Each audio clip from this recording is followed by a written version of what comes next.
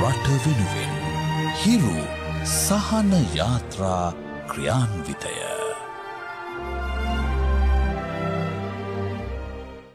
රට වෙනුවෙන් හිරු හිරු සහන යාත්‍රාව රටට අවශ්‍ය මොහොතක හිරු මාධ්‍යාලයේ ගරු සභාපති රේනෝ සිල්වා මැතිතුමාගේ සංකල්පයක් පරිදි බිහි වෙන්නේ. ඉතින් රට පුරා ඇති ආගමික ස්ථාන, ඒ වගේම ළමා සංවර්ධන මධ්‍යස්ථාන, ඒ වගේම වැඩිහිටි නිවාස කරා අපි ගමන් කරනවා. ඉතින් මම මේ වෙලාවේ ඇවිල්ලා ඉන්නේ කළුතර දිස්ත්‍රික්කයේ හොරණ පිහිටි රයිගම් කෝරළ සමාජ සේවා වැඩිහිටි නිවාසෙට.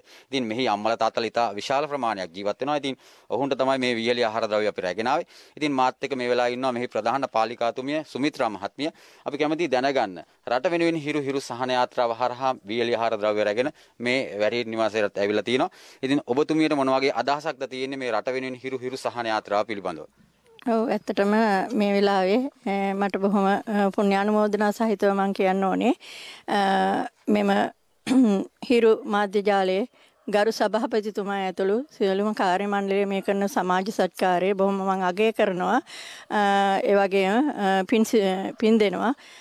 රටට මේ විපත් ති කාලයක උදා වෙලා තියෙන මේ වෙලාවේ මුළු රට පුරාම මේ කරන සමාජ සත්‍යාරයම බොහොම අගය කරමින් හිරු හිරු මාධ්‍ය ජාලයේ ගරු සභාපතිතුමා ඇතුළු ඒ සියලුම දෙනාට මගේ පුණ්‍යානුමෝදනා සහිත මම ආශිර්වාද ප්‍රාර්ථනා කරනවා නිරෝගී සම්පන්නිය ලැබේවා කියලා ප්‍රාර්ථනා කරනවා. ඒ වගේම මෙහි බොහෝ වැඩිහිටි පිරිසක් මෙහි ජීවත් වෙනවා. ඒ හැම දිනාටම මේ කරන සමාජ සත්‍යාරය අගය කරමින් පින් සිදු වේවා කියලා මම ප්‍රාර්ථනා කරනවා. බොහොමත් ස්තුතියි ඔබතුමියට මේ ආකාරයෙන් අපට අදහස් දැක්වට. ඉතින් රට වෙනුවෙන් හිරු හිරු සහන යාත්‍රාව දිගටම ක්‍රියාත්මක වෙනවා.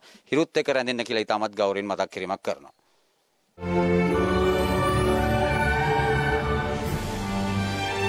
රට වෙනුවෙන් හිරු සහන යාත්‍රා ක්‍රියාන්විතය